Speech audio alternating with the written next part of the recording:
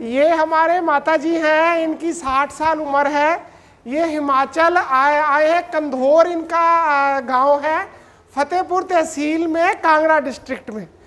माता जी के दोनों घुटने हमने बदली किए हैं। आ जाओ माता जी इधर आ जाओ, इधर आ जाओ, यहाँ से मुड़ना है हमने। माता जी के दोनों घुटने, आ जाओ, मुड़ जाओ, चलो चलो, तेज तेज चलो।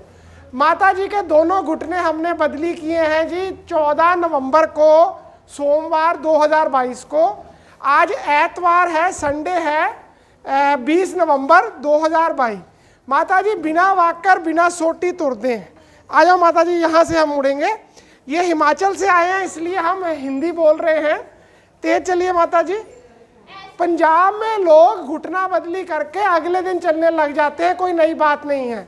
पर वो सारे मरीज़ वॉकर के साथ, एक स्टैंड के सहारे के साथ चलते हैं।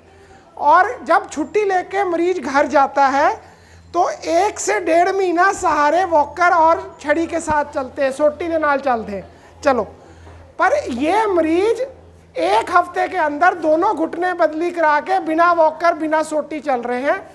अब मैं यही चीज़ पंजाबी में बोलांगा कि पंजाब से लोग गोडा बदली करके अगले दिन तुरन लग जाते हैं, कोई नई गल नहीं हैगी। पर वो जेडे सारे मरीज़ हैगे वो सोटी यार वाकर के सहारे नाल एक डेढ़ महीना तुरते हैं।